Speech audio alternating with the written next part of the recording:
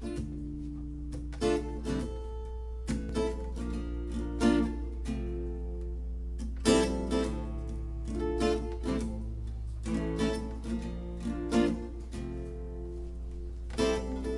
I mind my own business, I would know.